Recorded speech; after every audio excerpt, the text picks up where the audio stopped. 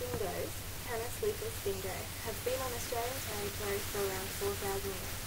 Yet the native status remains disputed. In most places of Australia, dingoes are known as native animals. However, they are not protected the same as native species. So, when does a so-called alien species become a native species?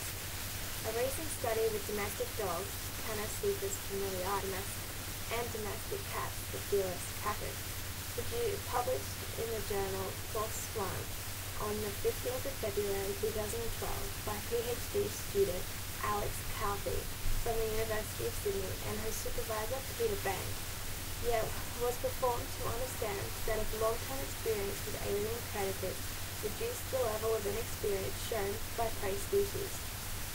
Carthey and Banks were then able to predict that the bandicoots, far longer coexistent history with dingoes compared to feral cats, introduced around 150 years ago, should enable them to recognize the, the predation risk posed by domestic dogs, not, but not cats.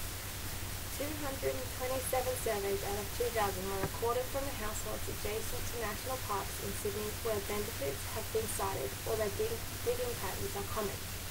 Their surveys were multiple choice questions asking if, of any pets they owned, if they had seen a bandicoot or the foraging holes left in their backyard. If their pets were kept indoors at night, the size of the animal and the backyard.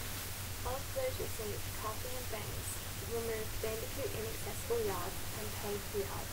They were left with 197 yards. Of those, they found 97 had no resident pets, 52 had dogs, and 36 had cats. The results received showed that with the presence of a dog was associated with fewer signs of bandicoots. Figure 1 shows that dog owners were more likely to report rarely or never seeing fresh diggings, shown in A, and seeing no new diggings, shown in B. Table 1 demonstrates that there was no effect on the bandicoot activity by the size and number of pets, or whether the pet or food were left outside overnight while Table 2 also proves that the yard size, paving, and water watering frequency were not related to the type of pet owned. The results found by Carthey and Banks suggest that native bandicoots recognize the threat posed by dogs, but not cats, when choosing where to forage. Carthey suggests that the only objective criterion for deciding whether an introduced species is sufficiently integrated into the consistent native is due to the native species recognizing us and responding effectively to the introduced species such as the dingo.